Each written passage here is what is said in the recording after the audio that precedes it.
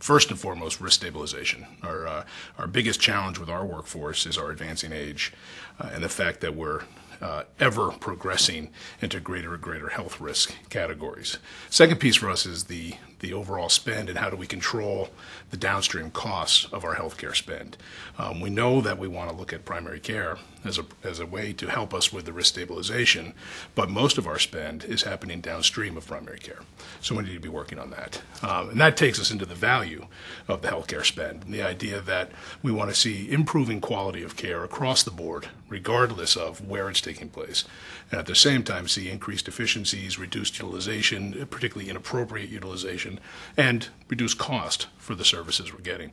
We think there's about 30% waste in the system, uh, which means we can carve out, in theory, 30% at least of the utilization. The other place we look is in the return to work area.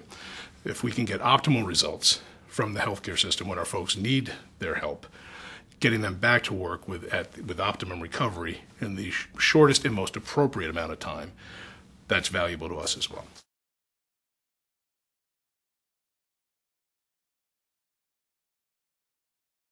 We've got a, a, very active on-site wellness program. Um, you know, uh, about six years ago, we took a look and decided that we needed to get very serious about that, um, and have been very aggressive in moving forward and trying to, to promote prevention uh, within the workplace, both with our employees as well as their families and, um, and folks out in the community. Um, with that, we're now working very hard to tie together the efforts we were doing inside uh, the business with our employees with the outside community and attempting to get the uh, primary care physicians and other prevention groups like the Healthy Maine Partnerships, for example, to work with us on our efforts both internally and externally.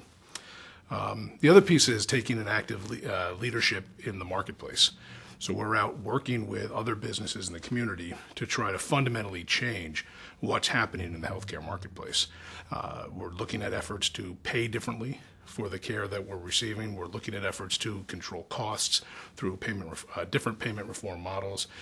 Um, we're looking at efficiency measurement that we will be looking to do public reporting on, efficiency measurement that we would use in terms of internal relationships in the healthcare industry. And then I think looking to find direct partnerships with providers that are interested in helping us achieve our goals. Uh, and when we find those folks, figuring out how we can find those kind of win-win business relationships with providers as businesses. I think the other piece is strong negotiations with our carriers. So the, the, the vendors we're using to help us, whether it's a disability vendor or an insurance carrier, working hard with them in negotiations to make sure that we have strong partnerships so that their efforts in the marketplace match our desires.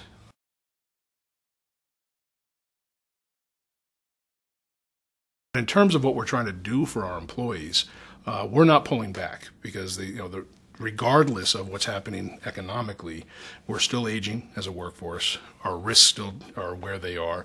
The healthcare system still needs to have the fixes put in place to achieve our results, and pulling back from doing that isn't going to solve anything for us.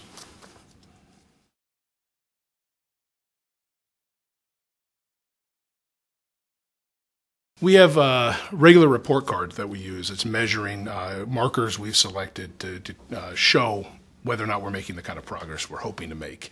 Um, things like preventive visits, um, on information from on-site health screenings. We're looking at our risk curve and seeing our distribution and so on. We're looking at absences and actively managing those, and that's a regular conversation with our senior management. And that's also from at a, in a business unit level, but with the corporation, with General Dynamics Corporation, they have an active integrated health management program where all of the business units are working together to learn from each other, keep informed across the board.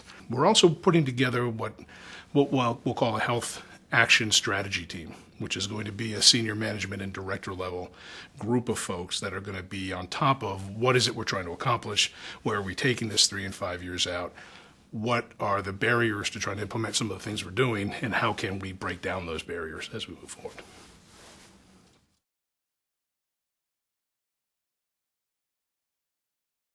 We're a heavy manufacturing uh, business. Our guys work hard.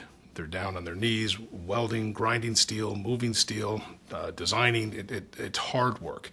and it wears on people over time. And so we know that we've got to help them maintain as healthy a lifestyle as possible so they have greater longevity and we have increased productivity. So we have guys who have 30 years in who know everything there is to know about building ships.